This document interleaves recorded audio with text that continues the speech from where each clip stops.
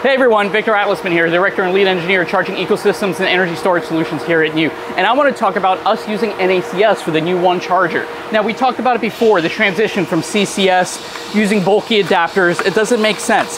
The whole point is to have something very similar to how the NACS cable is, where it has both AC and DC charging. But this is not compatible for megawatt charging. It doesn't go to the 1500 volt range, nor does it go beyond the 1000 amps. And so that is where we introduce our new One handle.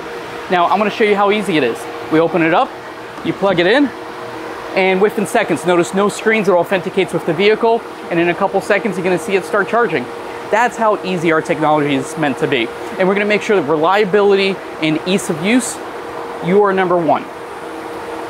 And there you go, that's how quick it is to charge. Now, obviously NACS is great, but it's limited. It can't go beyond the megawatt charging. It's only rated for 1,000 volts and potentially, I mean, even the V4 superchargers can't do 1,000 amps. And that's really important because for the new One standard, we're here to go beyond the 1.5 megawatt market, beyond the MCS market, because MCS on its own is just limited to DC charging. And so you gotta be able to do AC charging as well because AC is available almost abundantly everywhere. But the infrastructure still needs to catch up. And that's what we're doing here at Nxu. As you can see over here, we're continuing to build out and hope to see you soon. Thanks a lot.